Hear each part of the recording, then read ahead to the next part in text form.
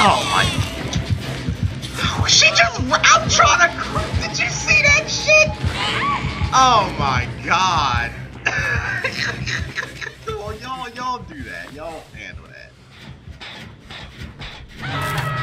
Here's me trying to crouch through and be careful, and she just was like, YOLO.